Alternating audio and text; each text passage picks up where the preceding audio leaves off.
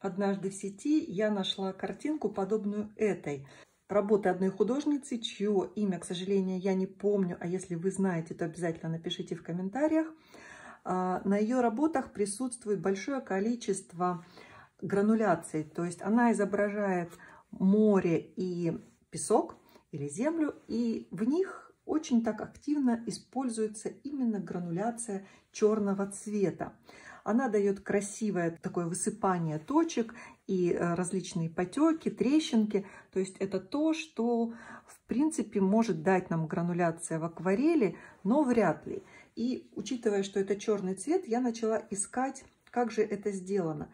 Э, эти работы я сделала с использованием туши, понимая, что именно тушь имеет более такой крупный помол пигмента частиц и при разбрызгивания она даст такой эффект.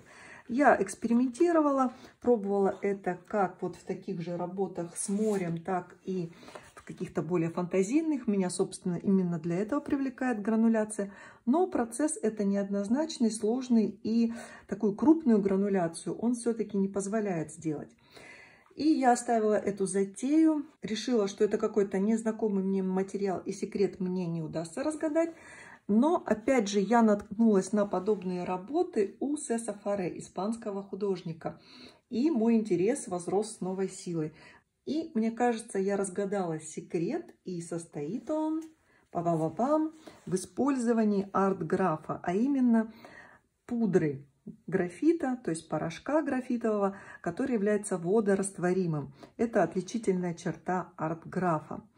И сегодня я вам покажу, как же этот эффект сделать с использованием данной пудры. Итак, приступим. Я застелила стол не надела перчаточки, поскольку процесс достаточно грязненький. Из пакетика пудру, порошок я пересыпала в стаканчик, э, чтобы удобнее было пользоваться. Нам нужен пульверизатор с водой. У меня вот два разных на пробу. Ну и кисточка так, на всякий случай. Вот, главный еще инструмент, который я использовала, это решето.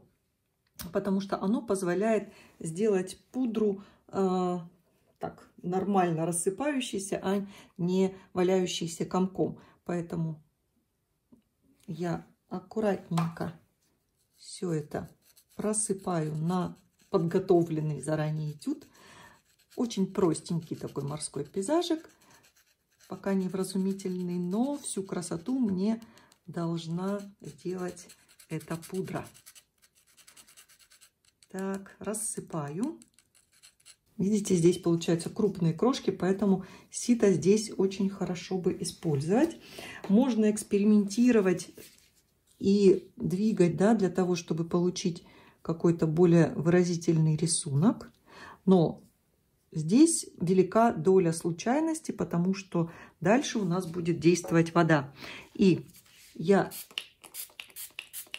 опрыскиваю свой этюд, немножко таким образом прилепливая порошок к бумаге. И уже получается какой-то рисунок, какая-то грануляция. Но я хочу большего, я хочу течения этой краски, этого пигмента. И, соответственно, я наклоняю работу, планшет и даю всему этому потечь.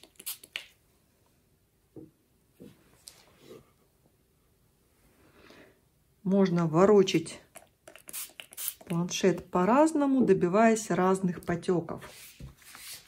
Попробую более массивную атаку водой.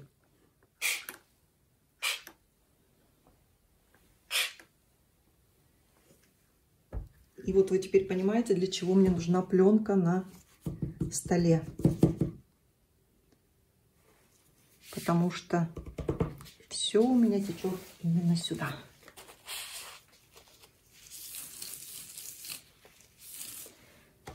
Угу. И вуаля, у меня получается искомая грануляция.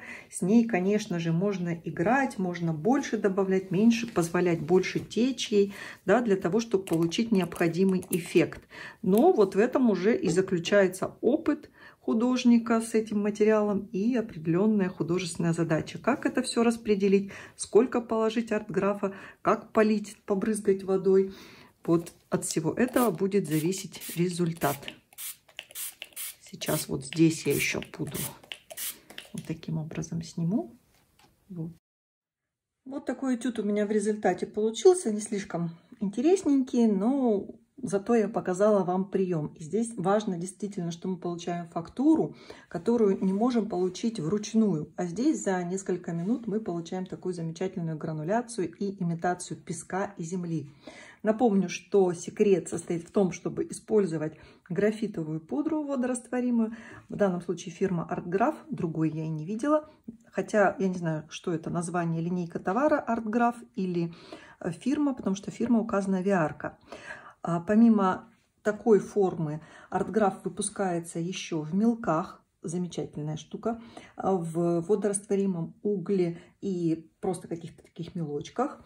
А, и на самом деле вот эти формы мне нравятся больше, потому что они позволяют рисовать, э, делать зарисовки и рисовать эскизы к работам и еще производить очень интересные вещи, о которых я могу вам рассказать, если вы мне напишите в комментариях, что вам это важно, что вам такой материал интересен. А все эти формы артграфа я заказывала в интернет-магазине Jackson's Art. В России больше нигде не видела, поэтому заказываю через интернет у этого магазина. Достаточно быстро все приходит. И, конечно же, по цене очень привлекательно по сравнению с нашими магазинами. А ссылки оставлю вам в комментариях, если вам нужно что-то из этого, если вы хотите посмотреть подробнее. Ну и все. Секреты художников таким образом раскрыты. С вами была Марина Трушникова. Рисуйте с удовольствием.